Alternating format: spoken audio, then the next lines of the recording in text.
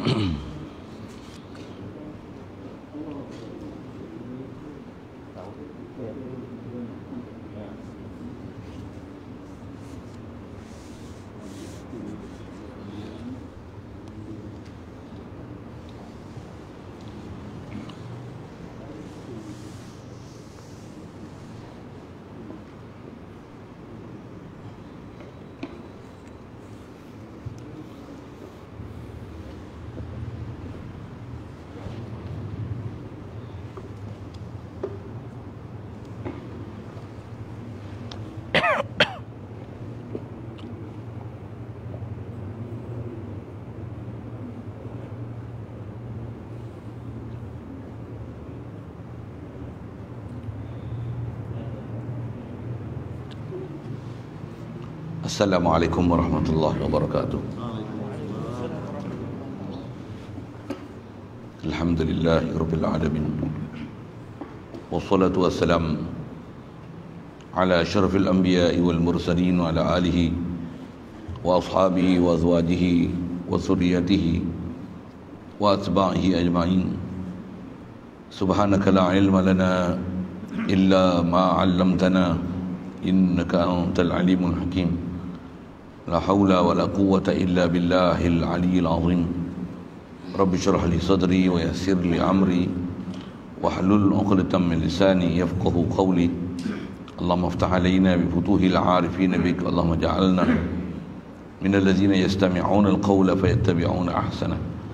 اللهم علمنا بما جهلنا وانفعنا بما علمتنا وزدنا علما نافعا يا رب العالمين. ربي أعوذ بك من همزات الشياطين وأعوذ بك ربي أن يحضرون. أعيذ نفسي بالله العلي العظيم. بسم الله ما شاء الله. لا يسوق الخير إلا الله. بسم الله ما شاء الله. لا يصرف السوء إلا الله. بسم الله ما شاء الله. ما كان من نعمة فمن الله. بسم الله ما شاء الله.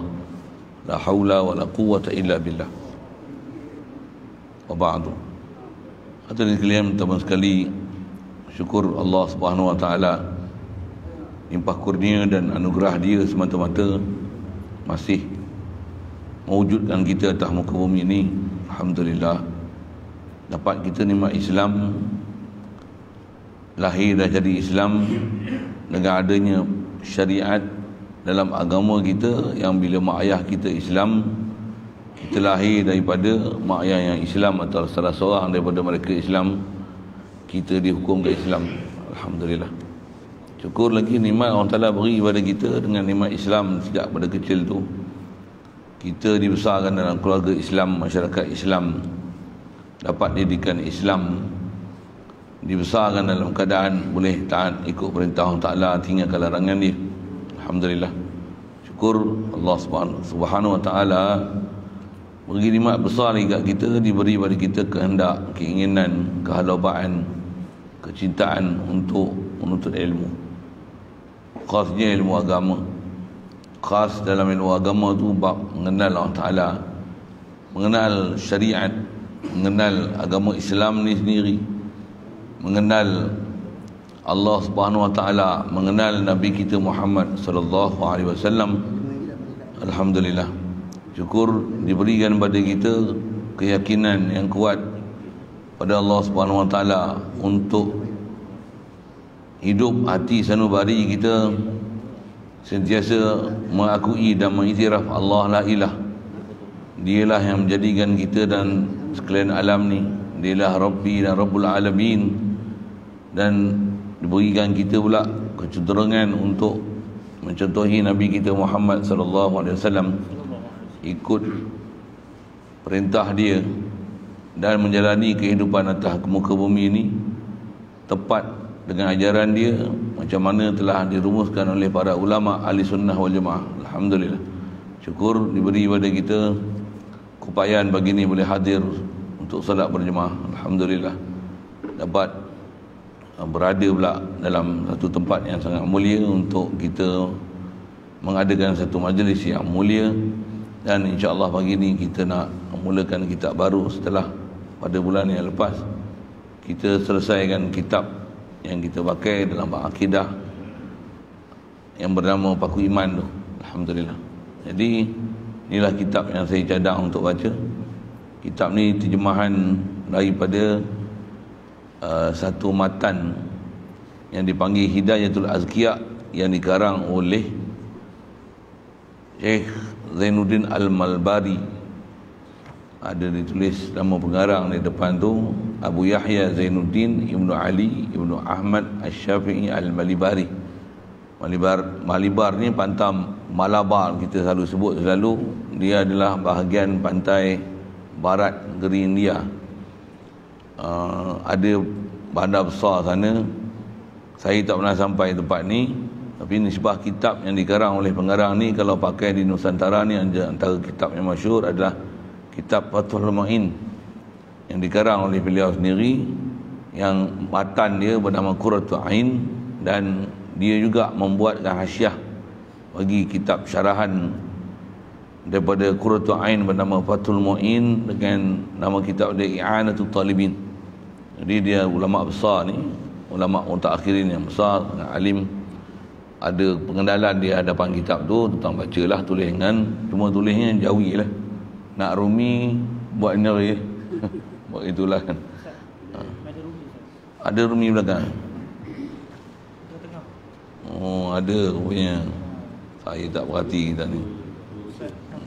Oh betul tuan tak payah buat lah baca je lah kalau itu. Allah dia dah mudah kan. Saya tak perhati saya tak perhati tengok jawi depannya rupanya ada hak rumi Masya Allah tapi kalau tak boleh baca jawi perak tu boleh baca rumi je. Kena tobat ngaji lain tuan-tuan. Pasal tak boleh baca jawi ni faham tu macam tak pandai Quran. Tak pandai Quran ni cacat besar ni saya eh, kalau kita ni orang Islam tak pandai baca Quran oh, leceh saya nak kata macam mana macam orang Melayu tak kerti cakap Melayu Orang Islam tak faham, tak boleh baca Quran ni macam dia tak faham usul dia. Satu saya sebut dengan bahasa kalau tuan-tuan tak boleh baca Jawi tu uh, saya kata ini tobat ngaji lain pergi belajar baca Quran. Pasal orang boleh baca Quran insya-Allah pandai baca Jawi. Jadi tuan-tuan tak pandai baca Jawi ni mesti ada masalah baca Quran. Saya taklah niat bersangka buruk tu.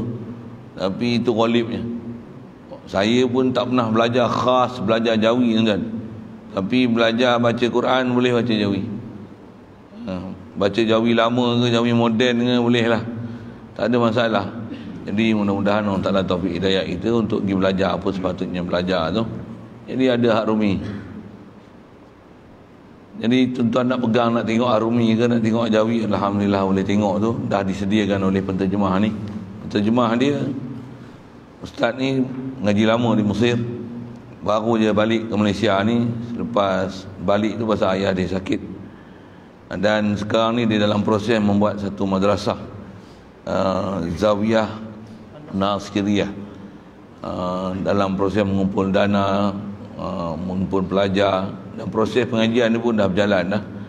Ada pengajian yang telah dilaksanakan tapi kebanyakannya online lah pasal tempat tak sedia lagi Uh, dialah antara orang yang telah menterjemahkan ni saya ambil kitab ni. Kitab ni pun saya perolehi daripada uh, Ustaz Yusaini. Ustaz Yusaini di Perlis Matin. Uh, Perlis tu hati-hati sikit sebut Perlis. Uh, macam itulah saya sebut kan. Saya pergi ni kat Matin. Uh, saya sajalah sebut itu kan. Tak faham tanya lain. Uh, Allahumma salli wa sallim ala sayyidina uh, Allahumma salli sallim. Apa saya nak sebut tadi? Saya terima kitab ni pada dia. Masa mula-mula saya menjejakkan kaki ke sana dipanggil untuk bagi kuliah kat sana buat satu daurah baca kitab baku iman yang kita selesai tu lah. Tapi tak selesai tak baca habis sana. Allah ha, jadi antara buah tangan yang diberi pada saya masa nak balik dia bagi kitab ni. Ada beberapa buah kitab lagi yang matin ni dia ada inisiatif dia dia ada madrasah ada tahfiz ada pengajian kitab-kitab di sana. Dan dia ada satu lajnah untuk lajnah terjemah kitab. Dan ada dia buat uh, perhubungan dengan uh, pihak-pihak penerbit ni untuk uh, menerbitkan kitab-kitab terjemahan dia. Di antara kitab-kitab terjemahan yang keluarkan adalah daripada terjemahan Al-Fadhil Ustaz Nazrul bin Abdul Nasir ni pada masa tu sekarang saya tak tahu lah masih memangku ataupun tidak jawatan tu dia adalah timbalan kepada mudir uh, Matin tu.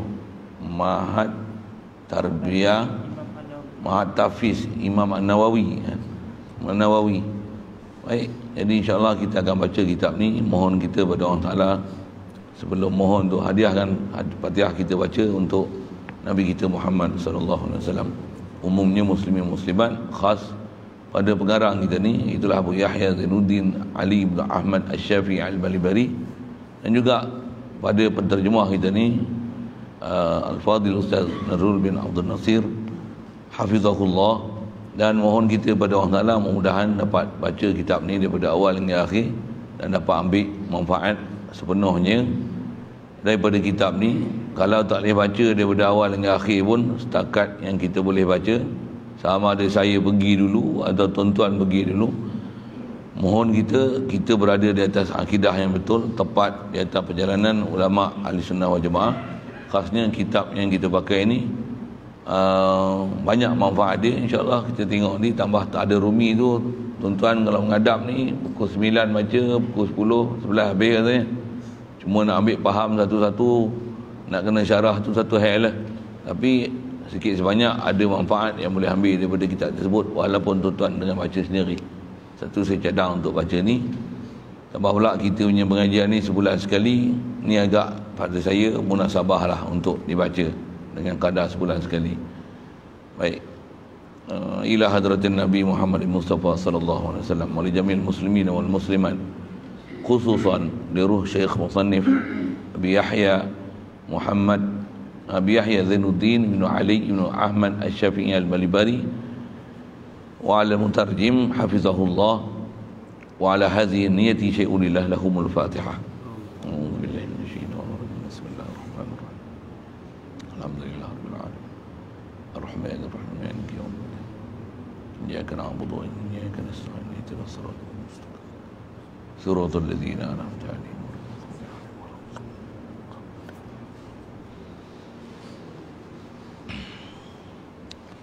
Jadi kita terus pada kitab yang kita pakai ni Kalau pegang jawi tu muka surat 12 Rumi tu tengoklah. Bahagian kedua tu Sebiji dia tulis semula yang ini muka surat 76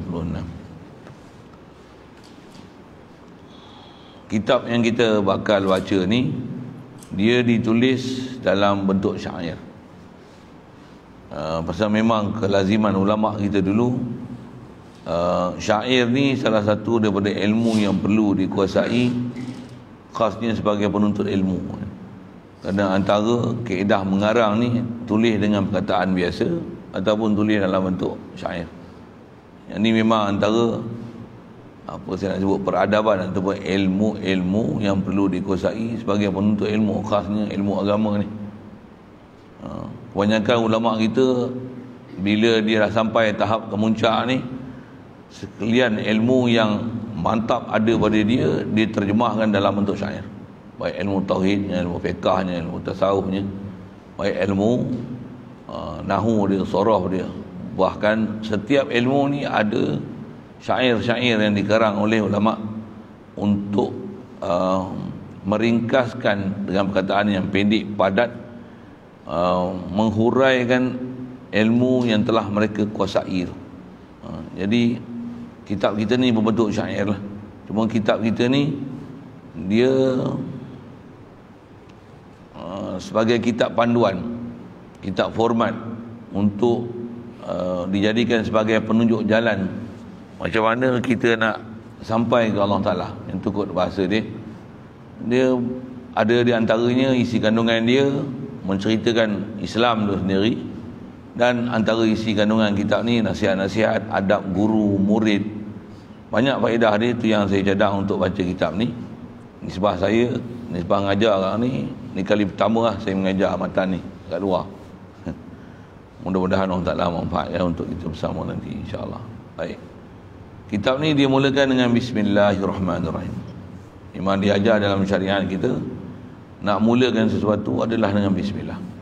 Isyarat Nabi SAW kata dia kullu amrin zibalin la yubda'u fiha bismillah fahuwa aqta wa ajzam. Kama qala ada beberapa riwayat hadis menceritakan seumpama makna dalam hadis ni. Terjemah sekali lalunya setiap urusan yang mempunyai maksud yang disuluh dalam agama. Kullu amrin zibalin maksud zibalin ni dia adalah zi maqsadin syar'iyyin. Dia perkara yang disuruh oleh syarak. Perkara yang diperintahkan oleh Allah Subhanahu Wa Taala. Walaupun perintah tu dalam berupa perintah yang harus yang disepakat kita ada khiar ada pilihan nak buat. Sekalipun hanya sekadar itu umum prinsip dia mulakan dia dengan bismillah. Selama mana ibadat tu tak datang dengan khas mula bukan dengan bismillah antara syariat yang diajar kat kita macam mana tunjuk ajar Nabi wasallam mulakan dia dengan bismillah. Antaranya makan. Walaupun kita kata perkara sekecil itu nak keluar rumah bismillah. Naik kenderaan bismillah. Kenapa kena bismillah? Atas tunjuk ajar Rasulullah kata dia setiap urusan yang tak mula dengan bismillah ni dia aqta wajzam terjemah dia dia ibarat macam orang yang kudung dan macam orang berpenyakit kusta. Istilah kudung ni cacat tak sempurna. Disyarah oleh para ulama dengan mana qalilul barakah. Kurang berkat bukan tak sah kan tapi kurang berkat. Istilah kurang berkat ni dengan mana uh, dapat manfaat yang kecil dan sedikit. Rugilah. Buat urusan perkara memang dibenarkan dalam syarak apatah lagi benda besar tapi tak dapat manfaat yang besar. Rugilah. Keedah kita antara prinsip kita buat sesuatu atau suatu perkara yang dalam perintah Allah Ta'ala ni antara istilah disebut oleh ulama matlamat ni nak hasilkan berkat. Jadi berkat ni apa? Nak membuat satu pekerjaan yang walaupun kita buat sedikit tapi dapat manfaat yang besar. Itu maksud berkat. Makanan berkat maksudnya macam mana? Makan nasi lemak sebungkus tiga orang kongsi tiga-tiga kenyang. Itu berkat. Jangan makan nasi lemak tiga bungkus tak cukup seorang makan.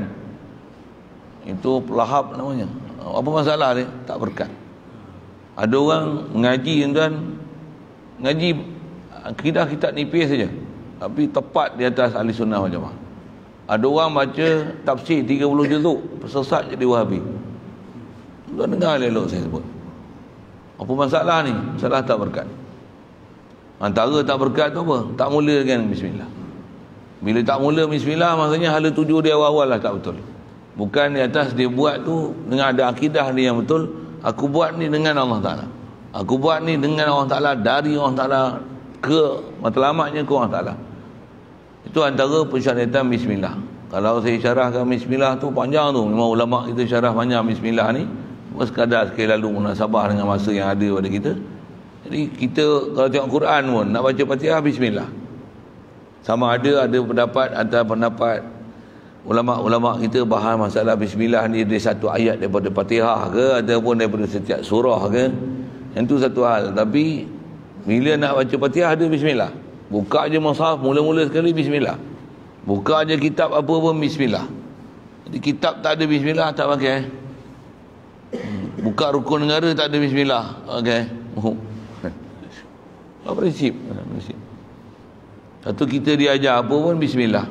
Kalau terjemah selalu sekali lalu tu bismillah tu dengan nama Allah. Jadi sebut dengan nama Allah tu buat apa nak sebut nama Allah? Kedah disebut oleh ulama sebut nama sesuatu maksudnya adalah zat sesuatu tak disebutkan nama sesuatu melainkan maksud dia adalah musamma sesuatu itu istilah sikit lah seisim ada musamma setiap nama mestilah ada tuan punya nama mesti ada kalau kita sebut saya nak ke masjid masjid nama maksud dia apa zat masjid tu kalau kita nak kahwin nama dia Aminah apa Aminah tu nama jadi apa maksud Aminah ni? Zat Aminah tu, diri tu. Diri Aminah tu. Jadi kalau bismillah dengan nama Allah, apa maksud dengan nama Allah? dengan Allah Ta'ala. Apa maksud dengan Allah Ta'ala ada hubungan kita dengan Allah Ta'ala apa maksud kita dengan zat Allah Ta'ala maksudnya dengan kudrah dengan daya upaya dari Allah Ta'ala itu pun besar pelajaran tu. Tu saya kata kalau hurai banyak tu saya hurai bismillah je lah lagi. Sampai habis.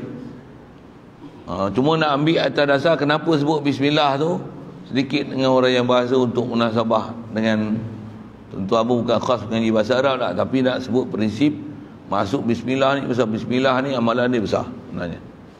Tutup guru kita ulama kita dulu bahkan para awliya dulu sabab jadi wali dengan bismillah. Kenal dengan Allah Taala bismillah. Jadi takwa dengan bismillah. Itu sabab besar dia. Amalan dia pun tak banyak tapi bismillah. Tapi istiqamah tak pernah tinggal langsung dengan bismillah.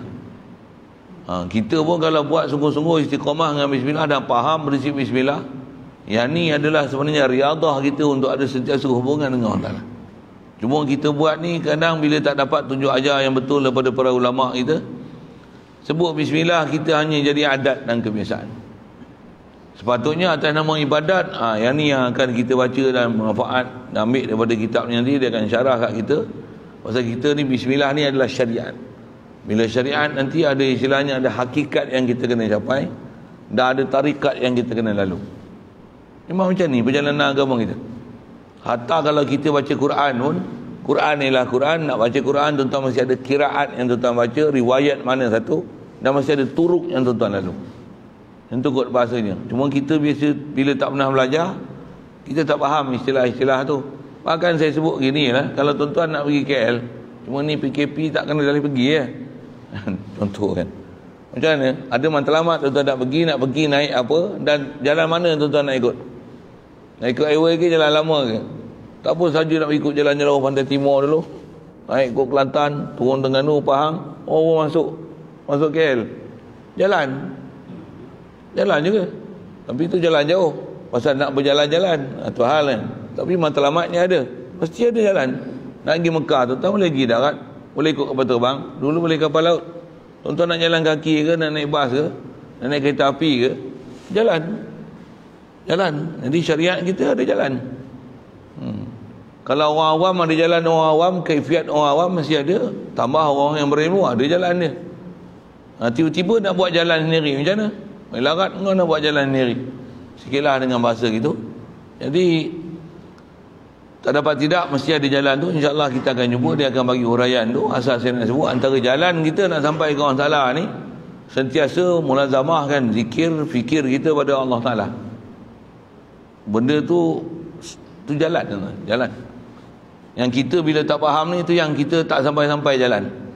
Dan kita tak berjalan sebenarnya. Itu masalah dia. Maksud tak berjalan macam mana kita macam seolah-olah tak ada destinasi nak pergi. Apa hal tuju kita? Matlamat hidup kita nak ke mana? Ada orang yang sampai tak ada matlamat untuk Allah Ta'ala. Dia tak ada matlamat ke Allah Ta'ala. Bukan matlamat dia Allah Ta'ala. Untuk matlamat dia apa ada orang matlamat jadi PM sorry lah bahasa tu sikit kan. Siapa tu nasib lah. Ada orang matlamat dia tak tahu matlamat apa dia macam tu. Kau nak jadi apa sekarang? Tak tahu pencet dan apa dah. Macam tu lah ulang alik pergi masjid lah. Dia tak ada matlamat. Tak ada hala tuju dia nak ke mana hidup dia. Satu ulama syarahkan kalau dengan bismillah ni bismillah ni mengajar matlamat kita. Apa dia? Inna Allah ma'ana. Allah sentiasa bersama dengan kita apa maksud Allah sama bersama kita? Allah ni kita kena wajib ada satu perasaan ada keimanan keyakinan kita. Selagi kita hidup ni Allah sentiasa memberi anugerah kepada kita. Selagi ada kita ni menunjukkan memang Allah sentiasa anugerah kita dengan memberi pemberian tak pernah putus-putus. Itu antara huraian ulama. Apa maksud Allah sentiasa bersama kita?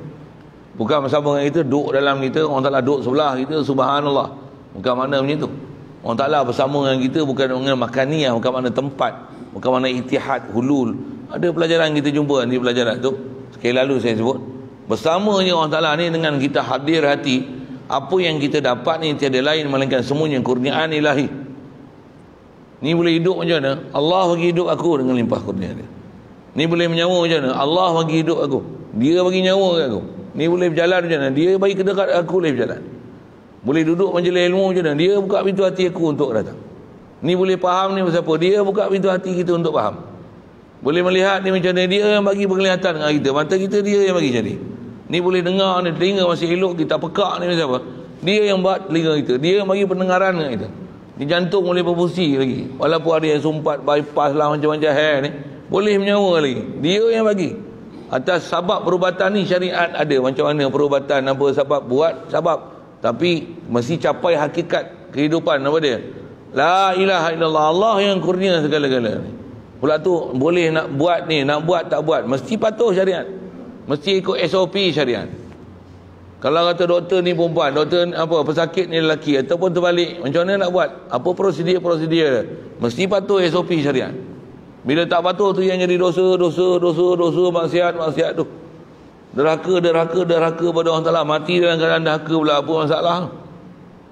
Ha, kita punya kewajipan mesti sentiasa dalam keadaan taat, taat, taat, taat.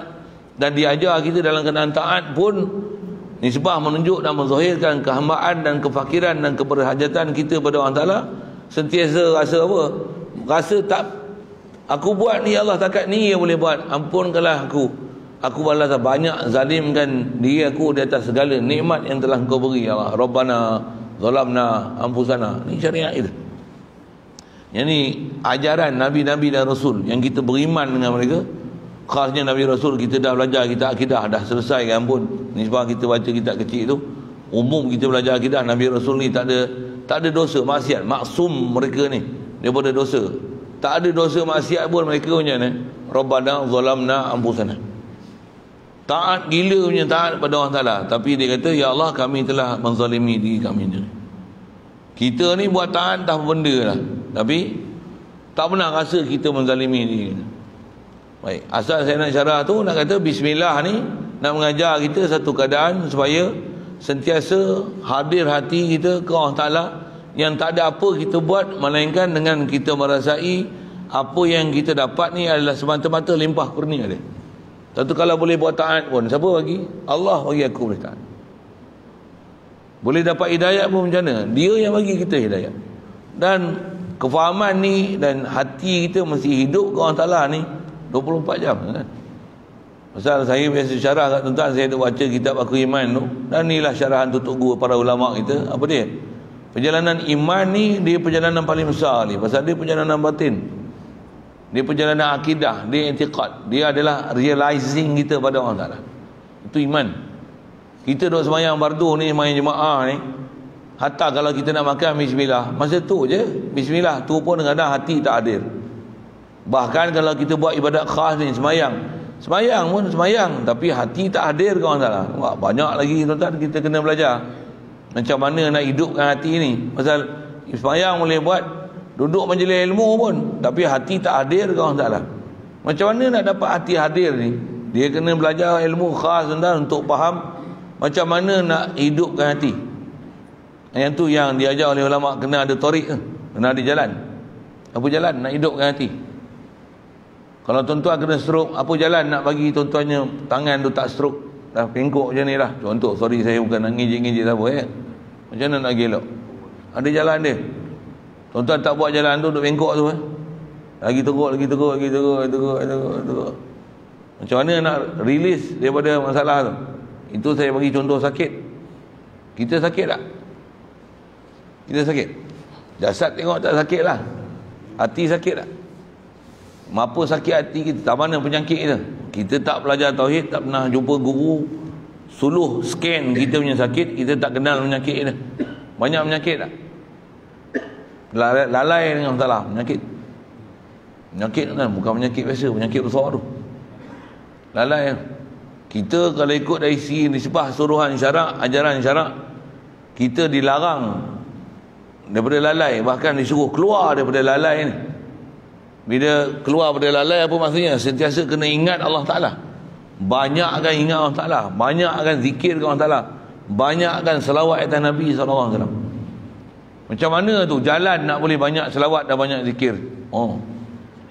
Itu kata ada jalan dia. InsyaAllah dia akan bagi penjelasan tu. Yang di atas saya nak sebut awal ni. Bismillah ni. Nak adalah satu prinsip nak menunjukkan jalan kita ke orang Ta'ala. Apa dia? Buat apa sesuatu yang memang ada maksud syarat. Bismillah. Bismillah. Itu sebut zahir bismillah. Hadir hati apa? Aku buat ni dengan Allah Ta'ala. Kalau atas terjemah dengan nama dia. Maksudnya apa? Dengan Allah Ta'ala.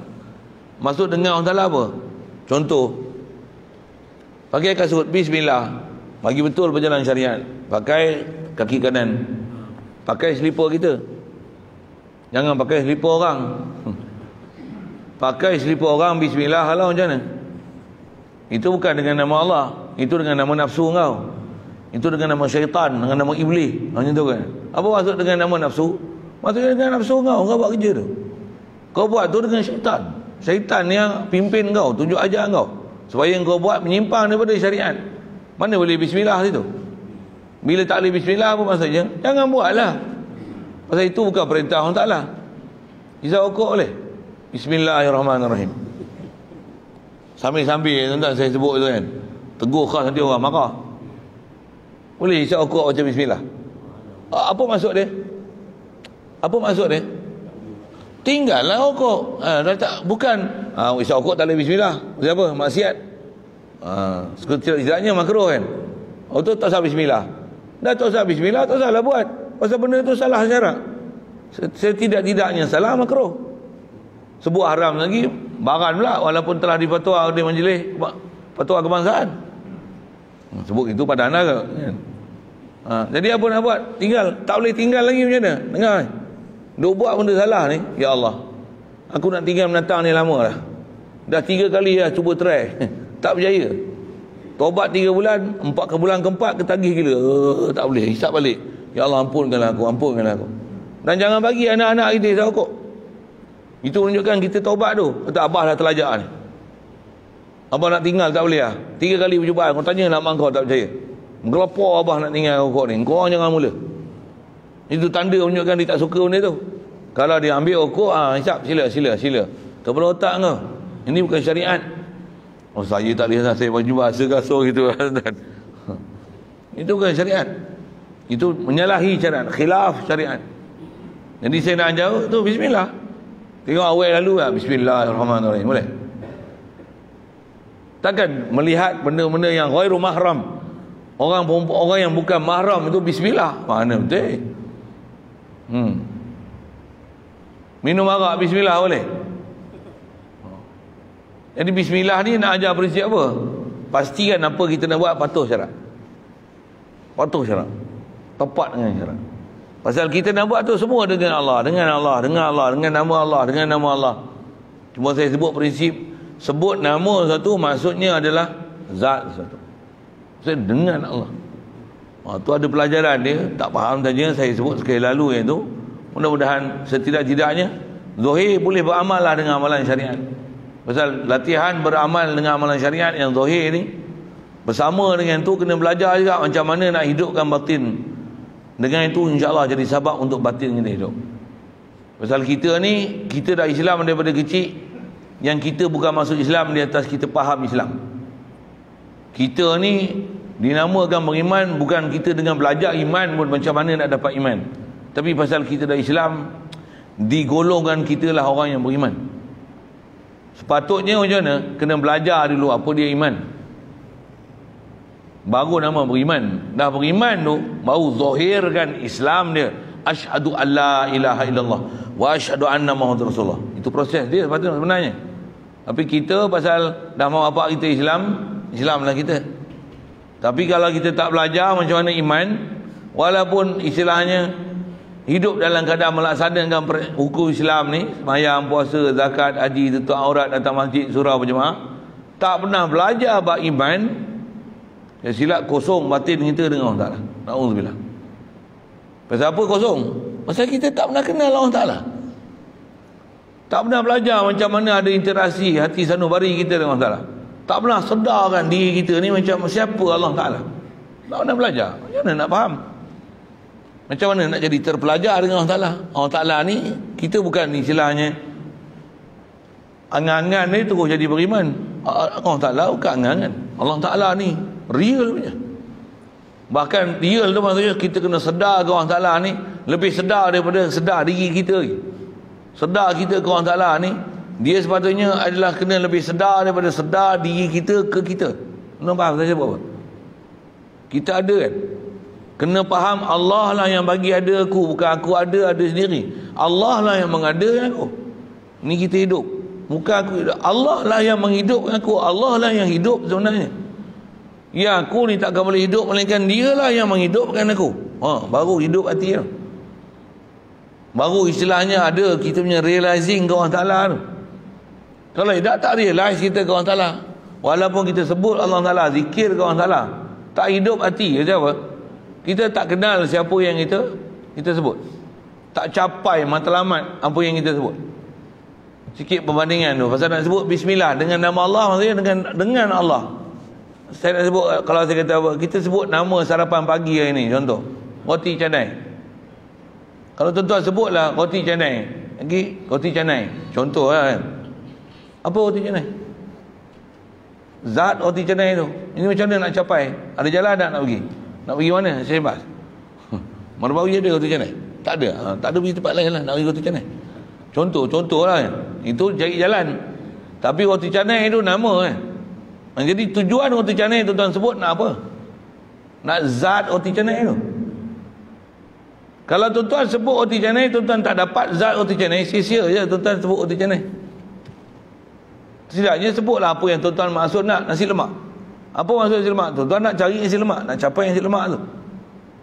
Dapat zat nasi lemak tu. Ah ha, itulah maksud tuan-tuan sebut nasi lemak. Ha ni dia ni. Ha, nak makan nasi nasi Arab. Ha, nasi Arab nama. Apa tujuan sebut nasi Arab? Nak zat nasi Arab tu. Kalau tuan-tuan taste pula macam nasi lemak je. Macam nasi Melayu je, tak punya nasi Arab pun. Rupa macam nasi Arab. Nama nasi Arab. Mendi lah apa. Rasa-rasa. Tak rasa taste Arab pun apa masalah. Nama ada tapi tak tepat macam mana kehendak zat dia. Tuan faham saya sebut apa? Kita Islam. Nama Islam ada. Ah ha, tengok tengok tak rupa Islam pun. Nama beriman. Mengaku beriman. Macam tak beriman aja oh kasar sikit lah. Aduh pasal hebat iman ni. Kalau buat nasi Arab pun kalau orang kita buka kedai nasi Arab orang makan tanya dia macam mana apa komen test tak rasa Arab pun macam Terbakar tak dengar? Kau tuan-tuan pemilik kedai lah. Terbakar tak? Terbakar? Ha, tuan-tuan ni orang kata tak beriman macam. Kasual tak? Betul-betul ke ada iman? Ha. Tengok rupa macam tak beriman je. Soleh ke? Macam tak soleh. Mofi. Amal soleh. Amal soleh benda macam ni. Hmm. Marah kata. Ha, nak marah tak marah tengok adakah kita menepati SOP. Ya. Tak pakai mask pun ni tak patuh SOP. Ambil suruh. Tak patuh SOP hantu orang marah. Ni masuk ni ingat Allah Taala. Kau duduk majlis ni ingat Allah Taala. Kau duduk majlis ni kerana Allah Taala lah. Ke saja ah, tunggu cerah ni nak pergi balik lah. Ustaz ni nak merepek apa tak tahu. Kau duduk bukan atas matlamat kerana Allah Taala. Bukan bismillah kau duduk majlis ni. Bukan duduk ni dengan nama Allah. Bukan duduk ni di atas dan cari redha Allah Taala. Tak ada. Bukan bismillah. Bismillah syaitan, bismillah nafsu. Bismillah saja santai-santai. Ha, sesat kan daripada jalan sebenar. Mudah Allah Taala pelihara kita semua. Satu ulama kita dia ajar dengan bismillah. Ha, ni ulama ajar apa siapa? Ambil syariat. Rasulullah saya sebut dalam hadis dia. Dia istilahnya kurang berkat. Jadi nak berkat dapat akan hasil manfaat yang banyak bismillah. Dan bismillah bukan saja untuk bismillah baca Quran untuk makan nasi. Apa dia? Setiap berjalan langkah tu kalau boleh bismillah. Ha, itu adalah tori atau jalan macam mana nak boleh sentiasa hadir hati kau taala. Bismillah. Bismillah. Bismillah. Mata tengok makhluk, hati istilahnya musyahadah boleh oleh makhluk. Ini antara isi yang dia akan sebut dalam kitab ni dan nasihat-nasihat dan panduan dia nak beri. Alhamdulillahil muwaf. Alhamdulillahil muwaffiq lil ula. Hamdan yuwafi birrahul mutakamila. Subas salatu ala rasul lil mustafa wal ali ma sahbin wa tuba'in wa tuba'in wila wa tuba'in wila wal ali ma sahbin wa tuba'in wila saya terjemah sekali lalu terjemah dia ada lah saya bukan terjemah saya tolong baca terjemah kan ha, jadi kitab ni dah ada terjemah. Saya tolong baca aja. Untuk apa yang manfaat boleh ambil, saya tolong syarah. Itulah sikit saya nak baca kitab ni. Kata dia segala puji bagi Allah Ta'ala. Jadi setelah dia mulakan dengan Bismillah, dia mulakan dengan Alhamdulillah. Ini prinsip kita. Prinsip kita paling besar dalam kehidupan ni apa? Mesti ada sentiasa hubungan dengan Allah Ta'ala. Bismillah, Alhamdulillah. Bismillah, Alhamdulillah. Buat apa pun dengan Allah, untuk Allah, lagi apa? Puji Allah Ta'ala. Puji Allah Ta'ala. Baik, buruk, rujuk ke Allah Ta'ala, puji Allah Ta'ala. Ada pelajaran besar tu. Khas nak sebut tak mana? Baik, puji Allah Ta'ala. Buruk pun, buruk pun, puji Allah Ta'ala. Oh, besar pelajaran tu. Muskil lah sikit. Tak muskil. Baik puji Allah Ta'ala, buruk pun. Kenapa? Buruk puji Allah Ta'ala. Macam mana buruk puji Allah Ta'ala? Boleh faham? Itu pelajaran Tauhid tu. Tuan-tuan kena insiden patah kaki macam. Alhamdulillah. Bukan innalillah. Ha, tanya sikit. Memang innalillah kita biasa sebut dah. Apa tujuan sebut innalillah? Apa makna innalillah? Tak reti rupanya. Sebut je mana. Ha? ha? Seluruhnya kita milik Allah. Innalillah. Kita ni milik Allah. Jadi sebut innalillah tu untuk menyedarkan kita ni apa yang bencak kalau telah selalunya mati ya dah kan. Kalau kata sakit, saya bagi contoh ni patah kaki kan. Siapa punya kaki? Milik semua daripada Allah Taala. Bukan milik kita. Dia bagi kita pakai sementara. Istilahnya pinjam aja. Amanah dia beri kaki. Lepas tu dia ambil balik yang dia anugerahi. Macam? Hak dia. Jadi sebut Alhamdulillah innalillah tu apa? Nak supaya kita realize apa yang dia ambil itu hak dia kita punya mana dia ambil pun satu kaki satu kaki lagi ada Alhamdulillah hmm. saya ngaji ada guru syarahnya tu itulah maksud innalillah jadi puji orang Ta'ala lah lagi. Walaupun dapat macam tu, puji orang Ta'ala lagi. Macam apa?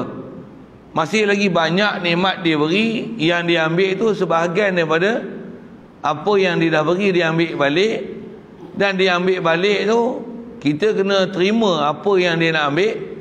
Lepas tu, jangan pandang apa dia ambil. Pandanglah apa yang masih dia beri. Masih tinggal. Itu jalan kita untuk tauhid Allah Ta'ala. Kalau kita tengok apa yang hilang, macam ha, tu yang merontak tu jadi PM tu jatuh di PM merontak dia sendiri yang jatuhkan di, di PM pun dia merontak kalau orang yang faham Khalid Al-Walid jadi panglima perang macam mana dilucutkan jawatan tengah ke puncak tu jadi panglima Islam. Yang panglima perang macam mana? Jatuh. Istilahnya diturunkan jawatan dia. Bagi orang lain naik. Saya tak ingat nama-nama sejarah lama tak sebut kata sejarah ni. Dinaikkan orang lain. Bila pergi perang macam mana? Macam mana dia jadi ketua perang tu? Macam tu lah. Cuma dia tak bagi arahan. Pasal dia bukan ketua. Sampai orang pelik dengan dia. Engkau ya Khalid. Engkau ni bukan panglima perang dah. Bukan ketua perang dah. Kenapa engkau pergi perang macam ni kata aku perang bukan kerana pangkat bukan sebab aku jadi ketua aku perang kerana Allah Ta'ala ha, ni orang, orang yang faham perjalanan agama siapa tu sahabat Nabi radhiyallahu taala anhu Akidah ni macam mana? Masya Allah. Akidah betul. La ilaha illallah Muhammad Rasulullah. Betul-betul dengan bismillah. Tak ada bahasa lain. Kita kalau dibuang esok pengurusi macam mana? Saya silap masjid pun tak main. Surau pun tak main. Tu mesti ada benda tak kena. Sorry sikit lah bahasa itu. Ada orang tak pernah jadi Bilal. Ada tak ada orang jadi azan dia boleh azan. Ada orang bila nanti jadi Bilal dah tak jadi Bilal suruh azan mampu tak di azan. Pasal apa? Bilal azan lah. Penat aja makan gaji. Makan gaji buta. Nampak? Lain lah ni. Lain lah ni. Lain lah. Kalau orang yang lillahi ta'ala ni tak ada masalah azan. Orang lain yang dapat bayaran aku tak dapat bayaran pun. Aku bukan nak dapat bayaran. Aku lillah. Kalau tak bayar pun maksud aku bukan untuk untuk benda dunia. Untuk mahasiswa Allah. Aku untuk Allah Ta'ala. Aku pandang untuk aku taat pada dia. Aku buat ni ialah kerana mencari redha dia. Bukan dia tak aku nak mencari redha selain pada dia. Jalan nak agama kita. Jadi asal nak sebutnya nak belajar macam mana fahaman ketuhanan ni lurus kita sentiasa hadir hati ke Allah Taala. Kalau kena bencana pun alhamdulillah. Ha, yang tu muskil tanya. Pasal saya sebut ada pelajaran tu. Yang kalau kita belajar kitab-kitab yang dikarang ulama dapat pula pelajaran sempurna dari tutup guru kita. Sempurnanya pelajaran kita ialah bila kita faham apa saja kehidupan kita ni baik saya tak syarah lah kan. Kalau yang buruk pun alhamdulillah rujuk ke Allah Taala dan alhamdulillah diajar oleh tutup guru para ulama bahkan kaedah syariat Rasulullah sendiri prinsip dia macam tu. Buat apa? Rujuk ke Allah Taala dan puji Allah Ta'ala di atas kita boleh rojok ke dia. Tu ha. boleh faham? Saya sebut apa? Kita sakit Allah Ta'ala beri ada hikmah dia. Alhamdulillah. Alhamdulillah tu pasal mesti ada hikmah dia. Dan Alhamdulillah tu bila bila hati kita boleh rojok ke Allah Ta'ala tu itulah Alhamdulillah dia. Tu faham? Can you understand me Bahkan jangan tak tahu dapat nikmat, dia juga dapat pemberian bantuan sehari hidup RM5,000 macam. Sebut alhamdulillah, habis mayang, tak main jemaah dah. Dulu jaga juga produk muslim. Sekarang mana? Habis lah, bantai semua, muslim tak muslim pun. Pasal apa? Dah duit banyak, dulu duit tak ada, berdikit-dikit lah belanja, beli hanya produk muslim. Dah duit banyak macam mana? Muslim punya produk tak ada macam mana? Sebat semua, semua hak bukan muslim pun. Contohlah, macam mana? Itulah innalillah. Eh. Itulah bencana sebenarnya. Macam apa? Dengan dapat nikmat jauh daripada orang Taala. Tak rujuk pada orang Taala. Tak rujuk pada syariat. Ha. Yang tu saya nak syarah tu ah. Tuan-tuan baca tu tak boleh baca. Kejap je habis je. Tapi nak nak faham perjalanan tu, tuan-tuan kena mengaji, mengajar. Eh, kena belajar. Memang kena belajar tu baca tak sama dengan guru tak sama. Satu tuan-tuan nak baca baca lah. Tapi sini bukan tempat baca. Sini tempat pegang. Kitab tu tempat pegang.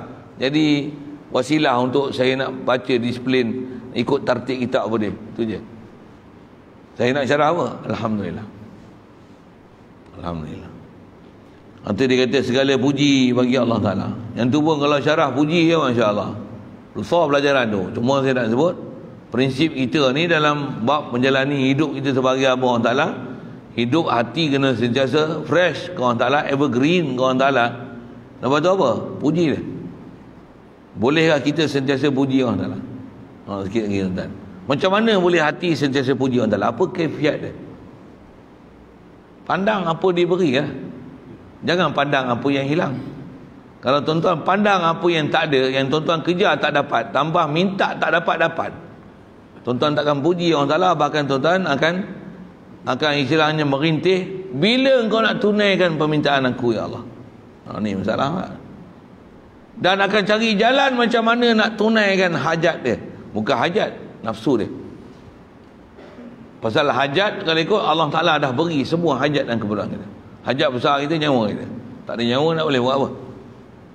Jadi pandang apa yang diberi. Prinsip nak puji Allah Ta'ala ni Jangan pandang apa yang hilang Tapi pandang apa yang Yang ada Apa yang dia kurnia.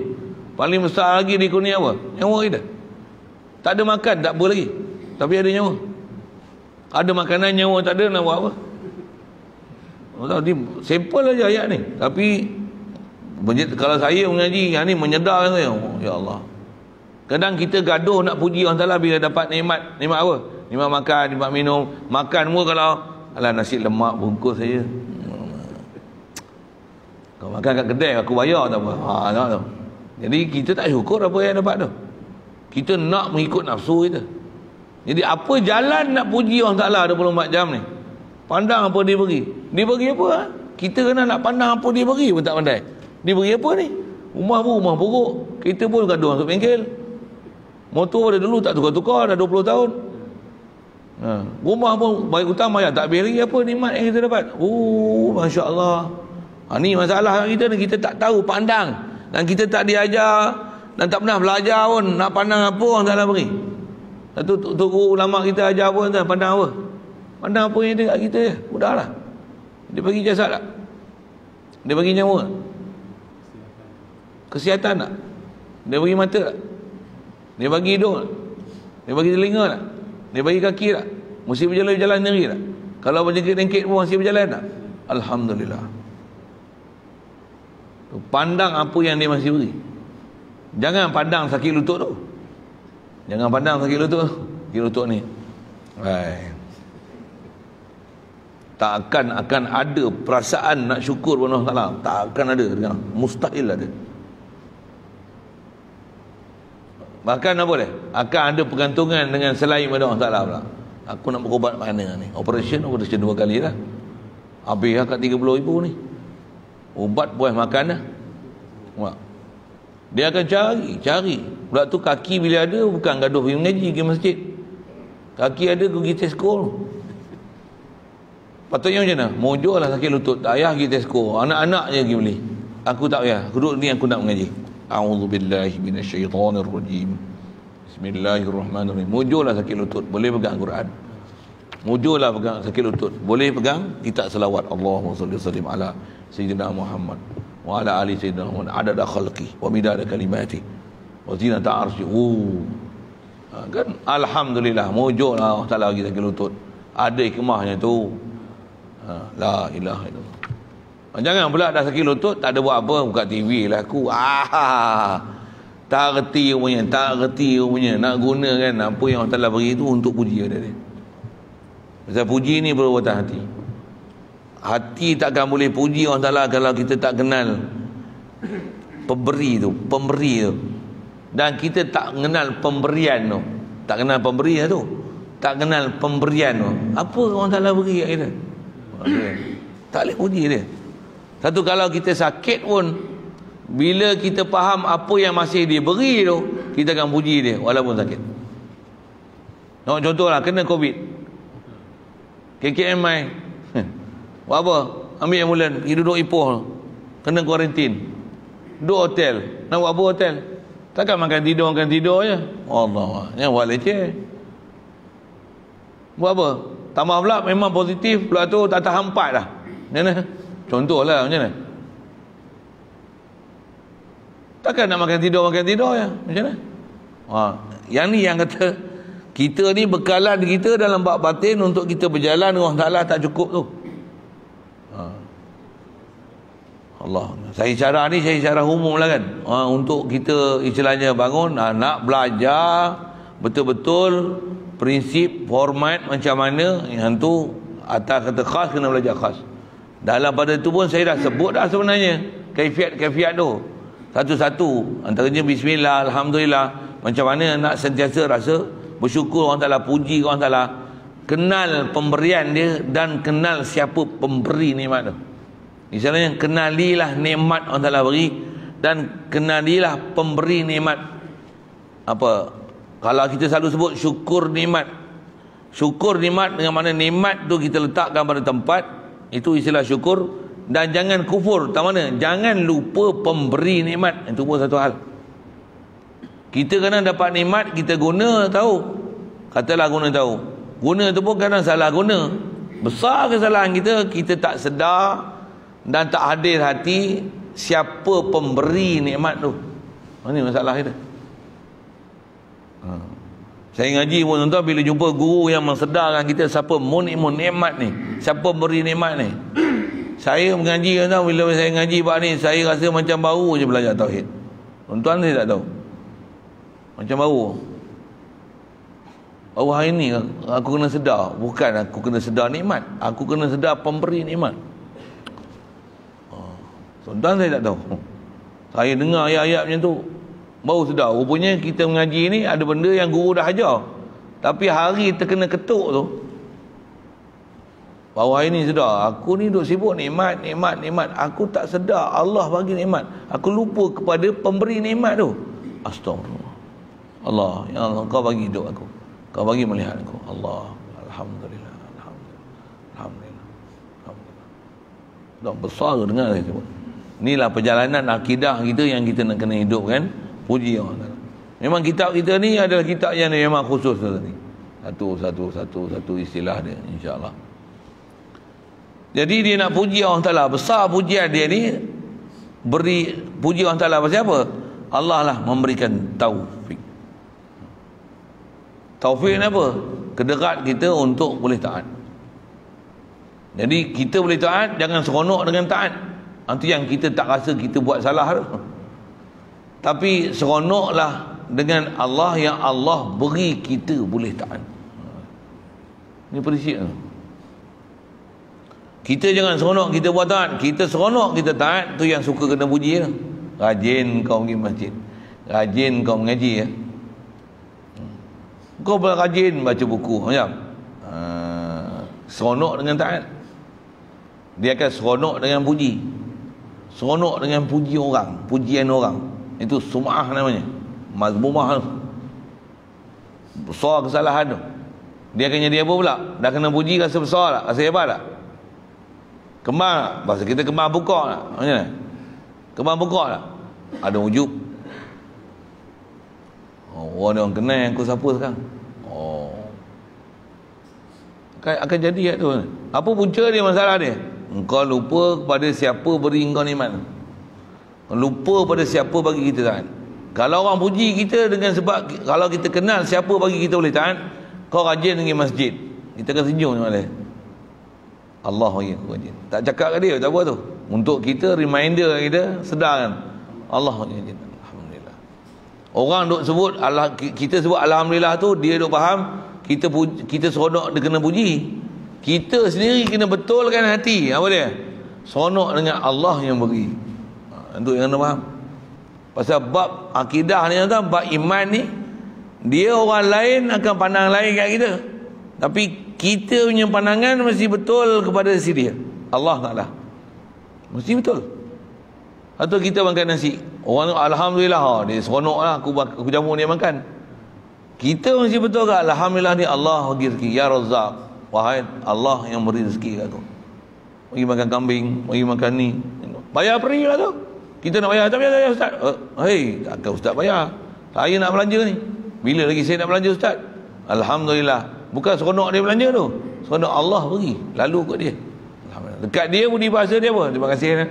Jazakallah khair doakan dia untuk kebaikan hati ni macam mana mutawajjih ila Allah istilahnya tawajuh antara Allah beri alhamdulillah kita tak nak minta pun ada orang beri orang tu beri ke Allah beri lalu ke dia ha, inilah pelajaran tauhid saya nak baca ni saya memang nak syarah tauhid dan saya ngaji pun antara benda besar tu untuk guru dia ajar dia syarah tauhid baca kitab apa pun dia akan pergi ke tauhid macam apa tauhid matlamat hidup kita Hidup kita nak buat apa pun semua mesti tauhid, tauhid, tauhid kau taklah.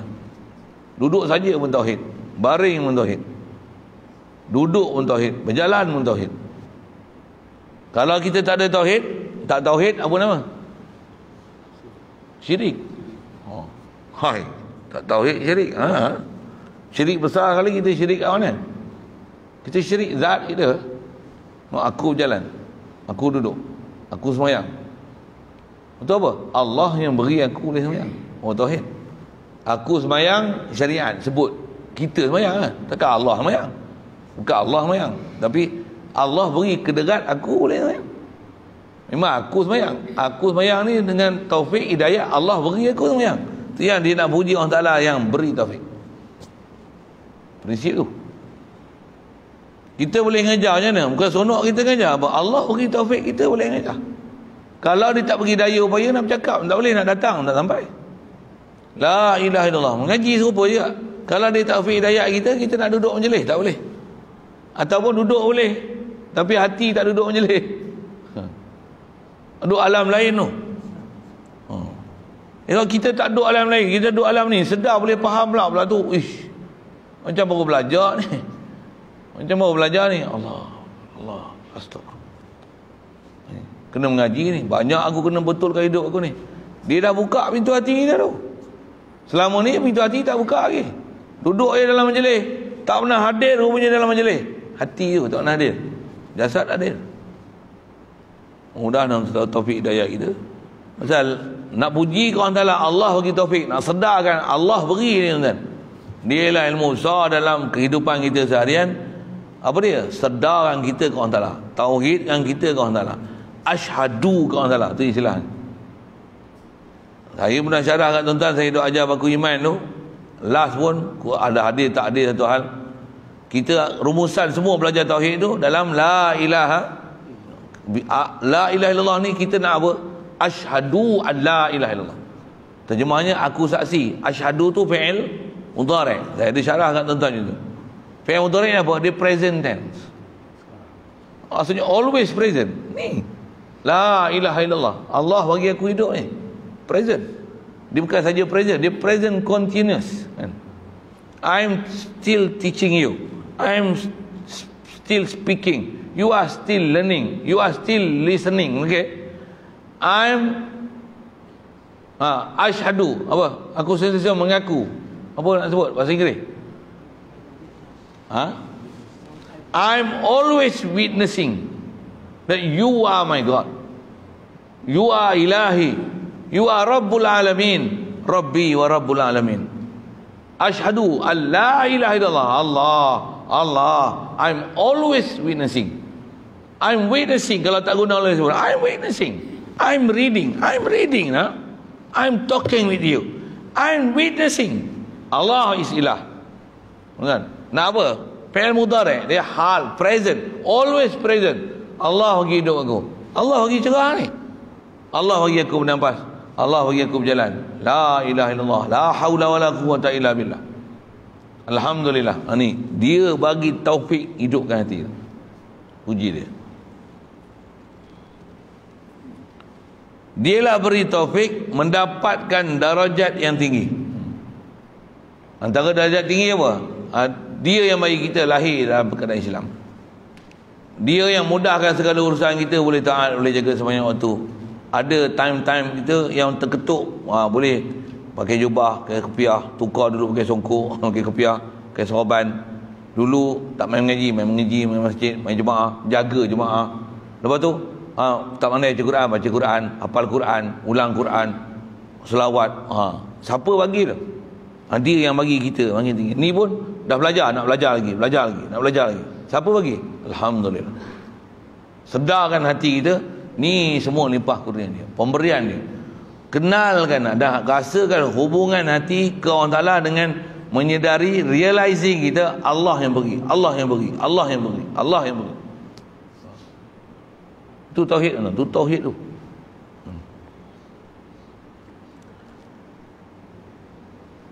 Dan dia nak puji ke orang Ta'ala ni pujian yang selayaknya merangkumi kebaikannya yang sempurna dia nak puji ke orang Ta'ala ni. Pujian yang memang selayaknya ke orang Ta'ala Pasal memang Allah selayaknya dipuji Bila pujian ni hanya orang Ta'ala Kita tak selayaknya dipuji Syarahan tu pun panjang lah kan. Facebook itu pada ada Dan tu yang dia kata Pujian ni pujian yang selayaknya. Memang Allah adalah selayaknya dipuji Dan bila sebut puji kena faham. Puji ni Mulut penzahiran puji. Puji kerja hati. ha? Puji ini kita ada terasa hati pemberian siapa yang memberi itu yang kita puji. Boleh? Faham saya sebut apa? Kalau tuan-tuan tak terasa hati atas apa pemberian, tuan-tuan takkan puji Orang bagi pemberian si lemak, keluar ni dia bagi si lemak. Tak pun dia bagilah satu goodies apa? Ada kepik, kepik pisang. Boleh pecah buku lima kupang lagi.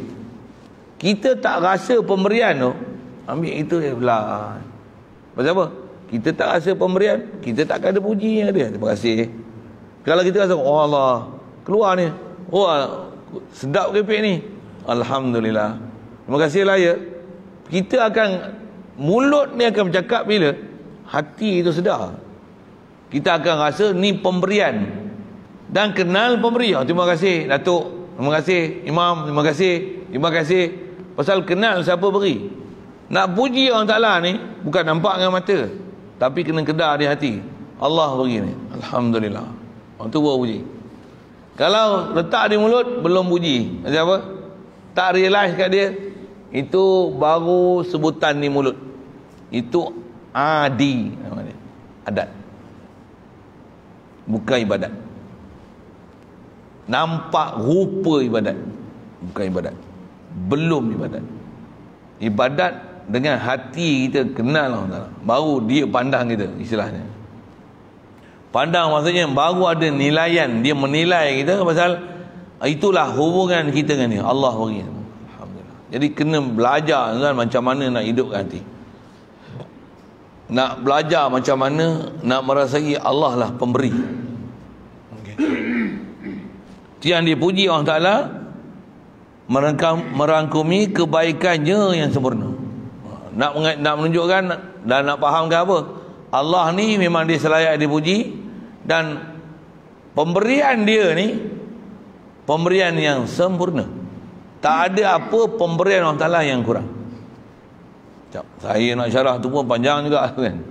Allah. Mudah-mudahan Allah Ta'ala taufik daya kita faham kan kita kadang-kadang syarah panjang sangat pun orang nak dengar sangat pun mudah-mudahan Allah Ta'ala tajamkan pendengaran kita untuk dengar apa yang sepatutnya kena dengar. Kadang-kadang duduk tapi tak mau dengar. Tuan saya tak tahu. Saya pernah duduk tempat tu tuan satu saya sebut. Best sekali mengaji ni apa? Kita duduk dengan kita nak dengar dan apa yang disampaikan tu semua masuk. Hmm. Allah. Masuk betul-betul apa yang dia kita celaka sekali apa? Duduk tempat yang baik kita tutup telinga kita tak mau dengar. Kita yang tutupkan diri kita untuk dengar. Ah, tu Masya Allah na'udzubillah dia blok saya dia tak mau dengar. Dia nak dengar benda lain. Apa yang dia dengar sepatutnya kena dengar ni tak mau dengar. Pada dia dengar ni ni benda ni nak dengar apa sangat ni? Nak belajar apa sangat ni? Dia cerita apa sangat ni? Ha, dia bukan saya tak mau dengar dia sampai tak mau duduk lah. Eh, tak habis-habis lagi ni. Bila dah habis ni? Kau buat apa ni tak habis lagi dia cerita puji puji puji apa benda ni aku nak dengar benda lain kau nak dengar apa sebenarnya iya tak dengar kan saya saya mengaji dulu ada tempat macam tu tau Oh bila kena sepak dengan guru sedarkan kita apa sepatutnya kena dengar. Dan yang tu antara kita jumpa nanti dalam ni dalam adab-adab belajar. Kita kena nak belajar. Kita nak belajar apa yang kita nak belajar daripada orang yang kita nak mengaji. Kita bukan nak belajar apa yang sepatutnya kita kena belajar yang memang kita nak dengar orang tu sedang mengajar kita. Tuan faham saya cakap apa? Itu nafsu nama dia bukan nak belajar. Itu ikut selera kau. Mana kau tak ada selera kau tak mau belajar. Engkau hanya nak belajar mana selera kau. Ha, ustaz ni best. Eh, yang ni seronok sikit dengar. Ada lawak-lawak. Ustaz ni serius sangat lah. Saya tak suka ustaz ni. Yang tu yang tak dapat tu. Macam apa? Sebab kita bukan nak belajar sebenarnya. Kita nak belajar apa yang kita nak belajar. Tu nafsu nama dia. Belajar ni adalah kita berguru dengan orang sepatutnya kita kena berguru. Yang apa yang guru tu memang orang terpelajar dia pun memang orang terpelajar dan dia nak ajar jadi yang kita orang yang terpelajar mengikut kaedah syarak macam mana Nabi Rasul dan para ulama sahabat tabi'in tapi tabi'in tu ajar kepada siapa nak murid mereka kita kita tak belajar apa yang sepatutnya kena belajar kita nak belajar hanya yang pada selera kita yang ni aku nak belajar aku tak nak belajar ni habis ya usah kita yang tu yang duduk dalam majlis yang sangat besar, sangat mulia pun kita tak belajar. Macam apa? Pasal kita dah buruh. Aku tak nak belajar ni. Aku kan nak belajar ni. Tak tahu. Ha.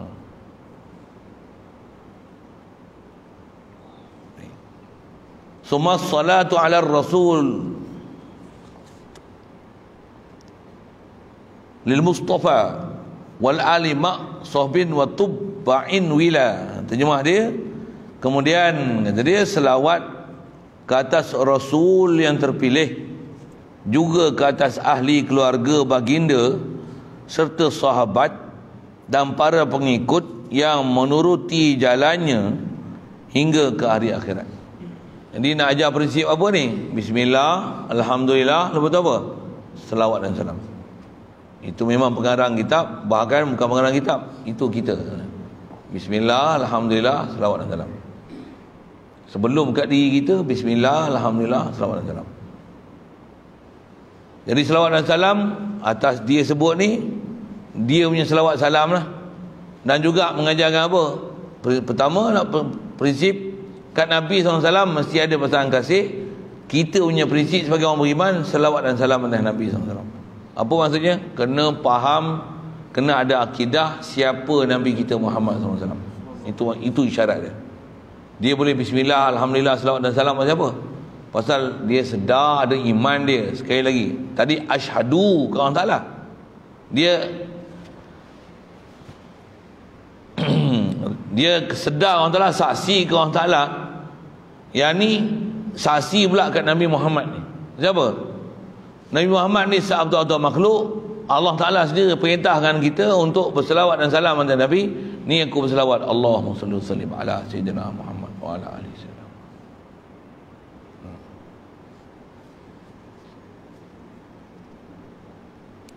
Baik, saya nak sebut pendek je. Tak mana? Selawat salam. Jadi kena ajar kat kita Dan kalau boleh ada amalan untuk selawat dan salam. Dan kena belajar macam mana nak ada cinta pada Nabi kita Muhammad SAW. Ada ilmu belajar itu Panjang ni insyaAllah kita jumpa. Khasnya kita ni duduk bulan Maulid Rasul. Jaga lah. Ada orang yang tak suka Maulid Rasul. Buat sambutan maulid macam mana? Beda Jaga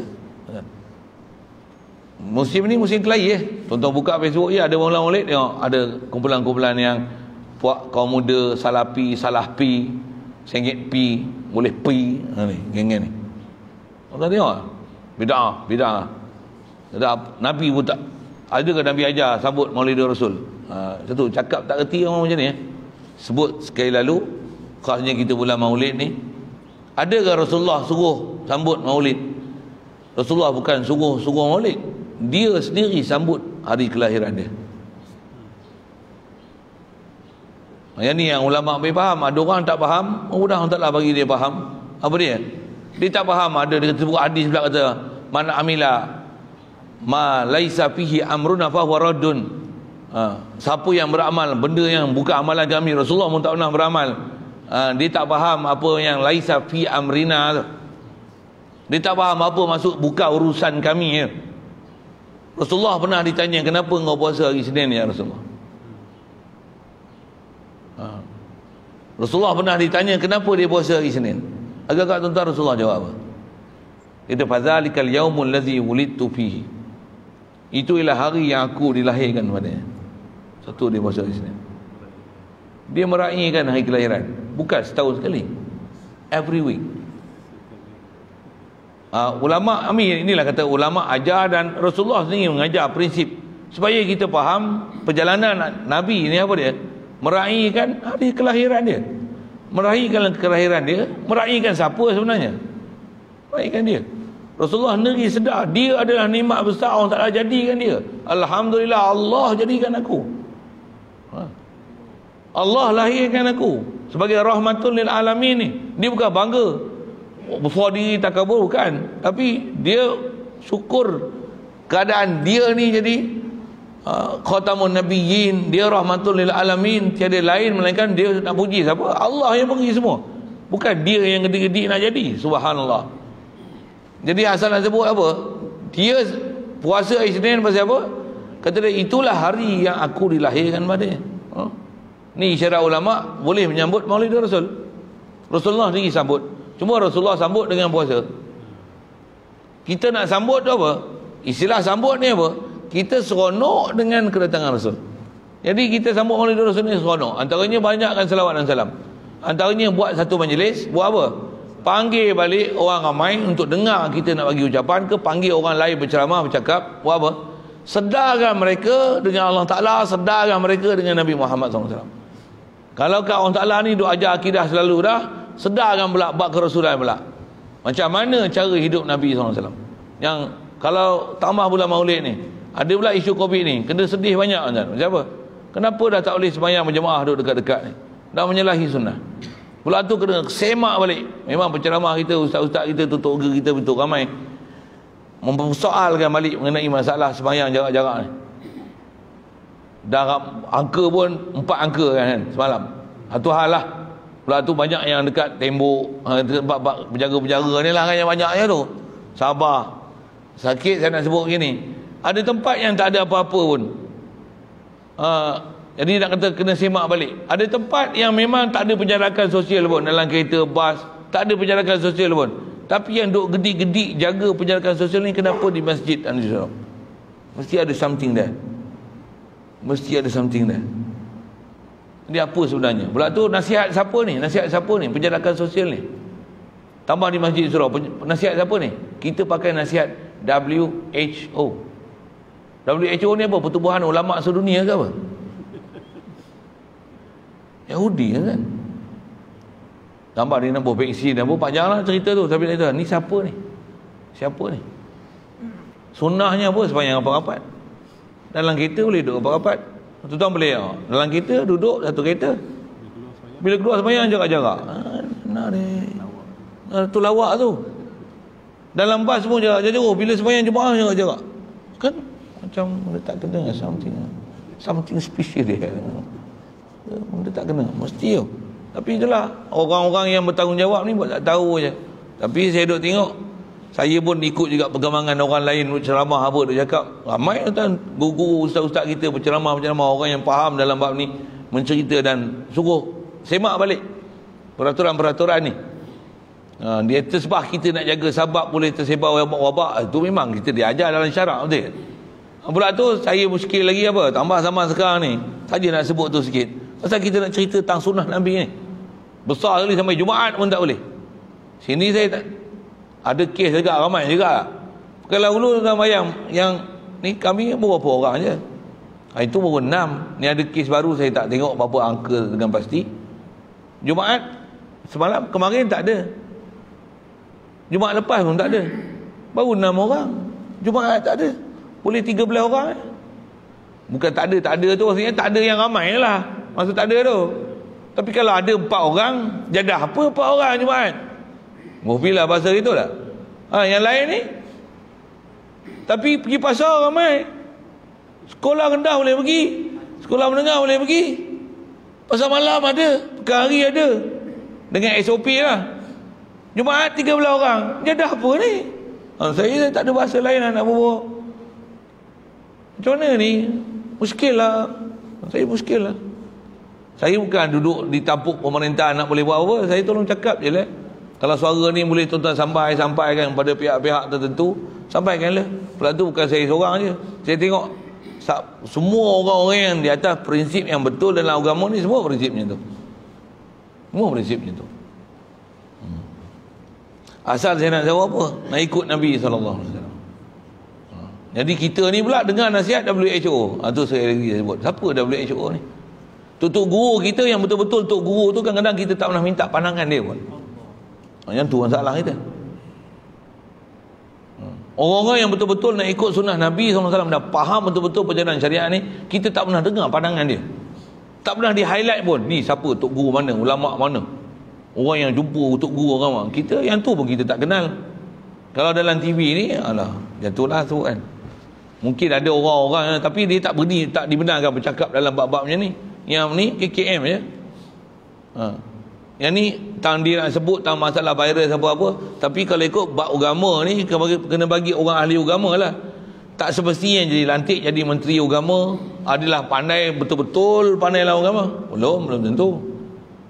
Berapa ramai orang yang kadang jadi guru kerajaan, jadi guru besar pun sebenarnya ada yang lagi besar pada dia cuma tak lantik jadi guru besar je. Betul tak cakap? Betul kan pemimpin pun ada pemimpin yang dia nak jadi pemimpin dah dilantik jadi pemimpin. Kadang ada orang lain yang lebih layak untuk jadi pemimpin. Kan macam tu kan prinsipnya.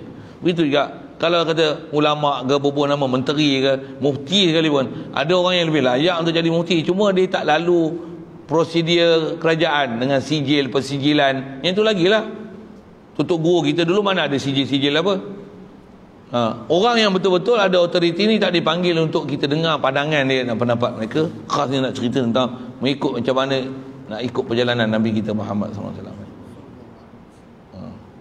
kalau ada tu Masya Allah bahagia kita. Dan ada pandangan-pandangan ulama-ulama yang besar-besar yang cerita macam ni macam tak, ada, tak dipandang pula. Tu kena renung sikit lah muhasabah dia. Satu kalau ada SOP apa ni saya bukan nak mengajar supaya langgar SOP tapi orang kata apa? Patut-patut dan padan lah itulah bahasa dia. Patut padan lah sampai tak kerti nak buat soft dah. Tak buat soft betul tak ada pula nak sibuk. Eh rapat lagi. Ni belakang depan tak penuh. Ni ni SOP ni tau. SOP penuh kan soft pertama dulu? SOP tau. Oh. SOP yang tu tak ada pun orang nak jerit macam tu. Yang ni ambil su ambil su mas tak pakai. Keluar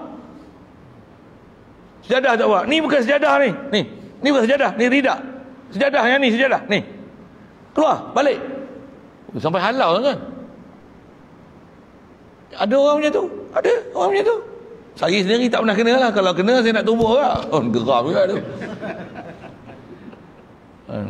tapi jemaah ha, pastikan lutut tumit garisan belakang tu rapat ha. pergerakan sepatutnya imam dah turun baru turun walaupun istilahnya sunat. Itu keadaan yang betul. Itibak Nabi SAW Rasulullah ajar percariatan ni macam mana macam mana satu-satu-satu. Tak ada pula sibuk SOP kat tu. SOP Tauhid SOP Majlis Agama. Kan? Kerajaan pun suruh satu meter je. Ni sampai 20 meter ni mana ni? Sampai 40 meter ni. Oh, oh, kan kasar sikit tu. Ha. oh kita tersetak oh betul juga ha. SOP pakai mask hui kelang kabut jaga tu padan-padan lah saya kata. Yang sepatutnya kita kena jaga kita tak jaga. Yang kita boleh berlebih kurang yang tu pula gedik-gedik pergi jaga. Siap ada orang tunggu lagi. Tulis. Oh. tulis nama. Nombor telefon. Nah, itu tak scan lagi. Kalau ikut bukan demam tak scan tak apa. Bohong ni tak apa kan? Main masjid pun niat pun tak ada. Oh macam-macam kalau saya sebut tu. Ha, kita punya SOP ada kita punya SOP tapi SOP kita ni tak diberatkan tambah SOP nak betul-betul ikut ajaran Nabi SAW mana SOP nya ok saja saya nak sebut tu pasal kita duduk bicara ni nak puji Allah Ta'ala nak tauhidkan Allah Ta'ala nak bersalawat salam atas Nabi SAW khasnya atas sebut ulama ulid ni ha, macam mana nak pulihkan balik semangat kita supaya nak ikut betul-betul cara hidup Nabi SAW ni. Tambah pula cara hidup ni menyebabkan new normal ni kehidupan kita ni macam mana dia menyebabkan jadi jauh kita. Salam pun dah macam ni lah.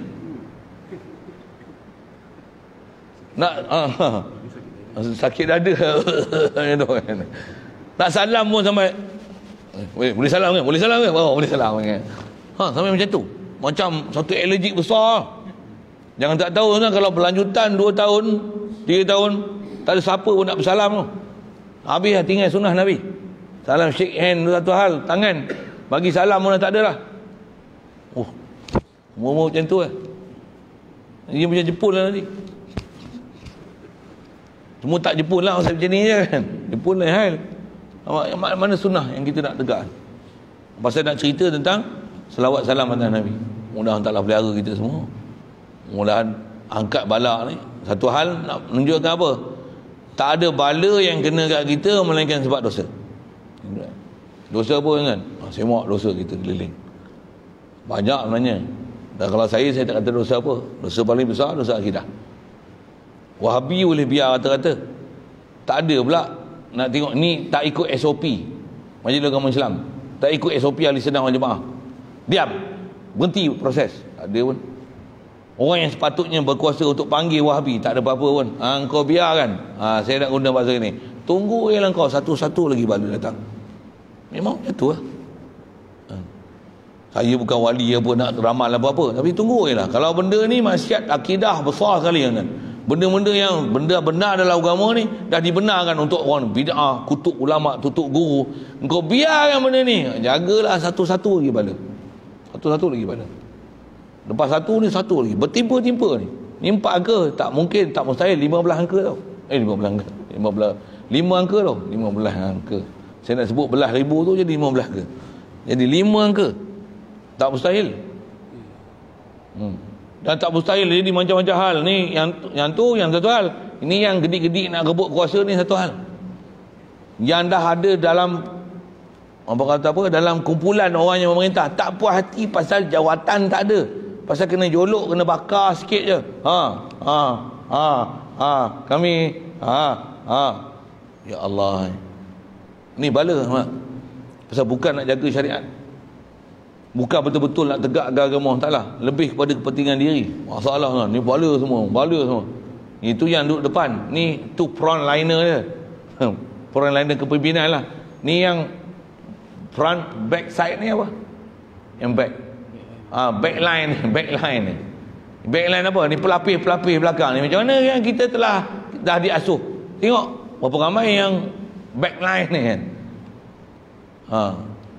yang dia ni bakal jadi pelapis untuk menggantikan yang front line front liner ni. Macam masjid pun tak main jemaah pun tak ada. Kau semua pergi asrama apa? Berapa orang oh masya-Allah. Mudah taklah pelara kita semua. Dah, dah ajak orang tuan besar sekali kat kita. Dan kita besar sekali macam mana? Hidupkan hati kita dan hubungan kita dengan Allah Taala dan dengan Nabi sallallahu alaihi wasallam mudah Allah Taala bagi taufik hidayah semua. Kitab ni sebagai panduan dia. Insyaallah kita baru baca mukadimah hari ni. Ha, insyaAllah ke depan ni memang ada pelajaran besar. Kita nak bicara mengenai takwa. Ada istilah dia sebut saya pun tak pernah panjang cerita kat tuan-tuan. Dia akan sebut ada istilah syariat tariqat hakikat. Uh, coming soon. We will talk about that insyaallah. Uh, coming soon. Uh, soalan kalau ada sekitar itu بسم الله الرحمن الرحيم. اللهم نور قلوبنا من نور هدايتك كما نورت الأرض بنور شمسك أبدا أبدا برحمتك يا أرحم الراحمين. وارزقنا فهم النبيين وحفظ المرسلين وإلهام الملائكة المقربين وسلم تسليما على جميع الأنبياء والمرسلين والحمد لله رب